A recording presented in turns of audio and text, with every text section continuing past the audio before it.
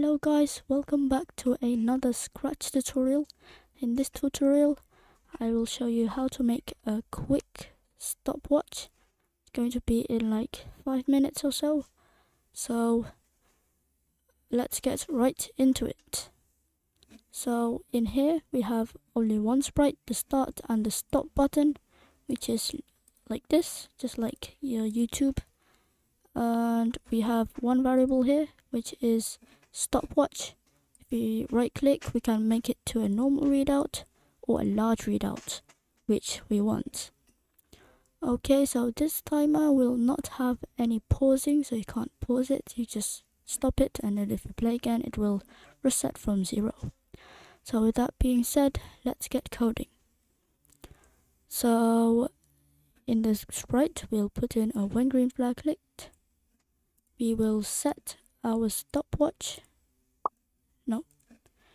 set our stopwatch to zero.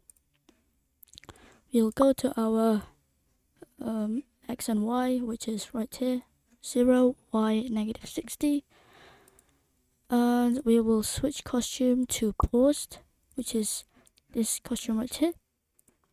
So put in a forever loop. If and here touching mouse pointer and mouse down we can put in a wait until not touching mouse pointer and mouse down.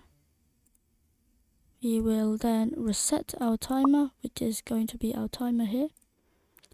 Um, we can put in an repeat until. Duplicate that.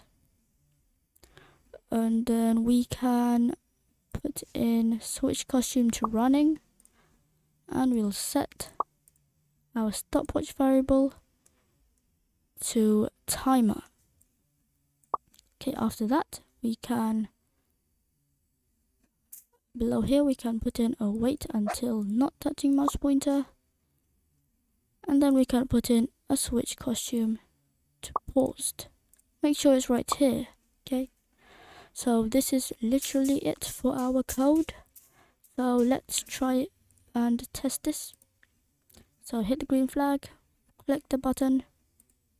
It will fly high like a normal stopwatch and if we um, press the button again it will stop and then we play again it will set the timer and it will go back on uh, this is very useful if you're doing challenges or speed runs like that.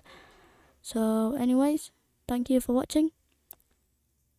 It's very short. Please leave like, comment, share and subscribe. And I will see you in the next video. Bye.